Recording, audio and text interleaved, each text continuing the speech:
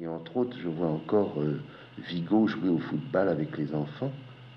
Euh, ça lui était tout naturel. Il faisait pas ça pour tenir les enfants, mais il était comme ça. Et il les prenait assez, euh, assez comme s'il avait été euh, dans l'histoire lui-même.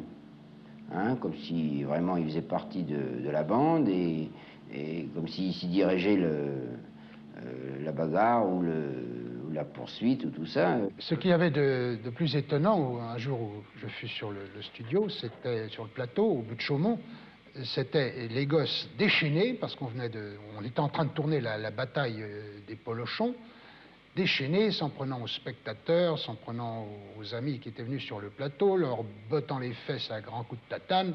C'était euh, véritablement la bagarre. Et je crois que c'était Gonzague Frick qui jouait le, le- le surveillant, le, le pion. Puis les gosses le, le- maltraitaient, le bousculaient, le- je ne souviens plus exactement ce qu'ils faisaient, mais enfin on le. On le on lui flanquait des, coups, quoi. Les gosses le, le tapaient dessus, parce que c'était le surveillant, parce que ça représentait l'autorité.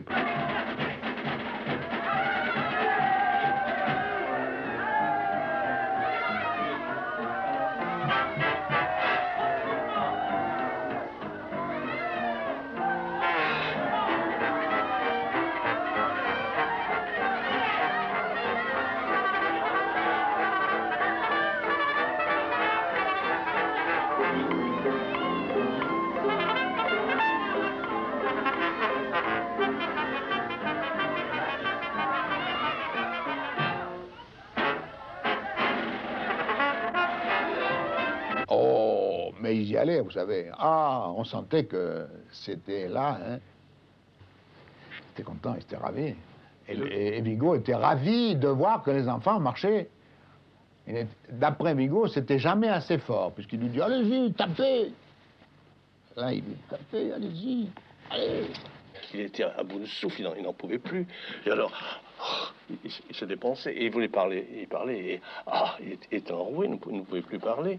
Et je, je, je me disais, il ne tiendra pas ju- jusqu'au bout.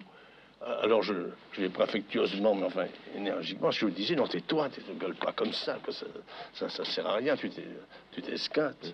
Alors il dit, attention, on va crever le- les oreillers, bah, allez-y, partez, ah, bon, bon.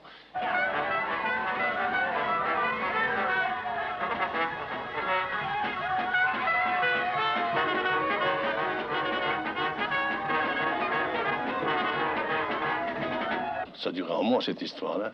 Mais à la, fin, les, les mots étaient devenus trop, euh, trop familiers avec nous. Quand C'était fini, c'était la, grande rigolade. Il, il fallait gueuler pour, pour arriver à obtenir quelque chose.